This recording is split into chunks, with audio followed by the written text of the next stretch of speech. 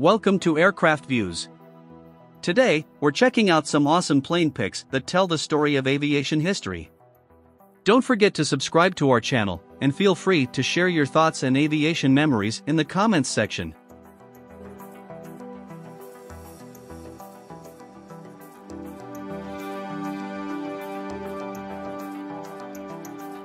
Three Douglas A-24 Banshee planes flying together in 1941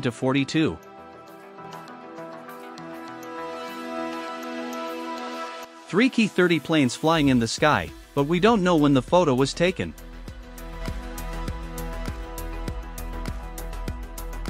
In 1942, there were two PBM-1 planes at the front and two PBM-3 planes at the back, flying in the sky.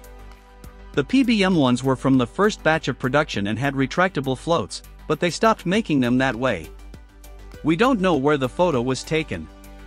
This is the first of two photos.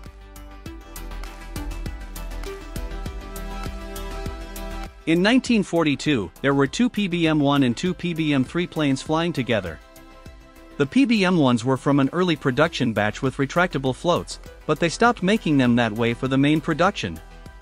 We don't know where the photo was taken. This is the second of two photos.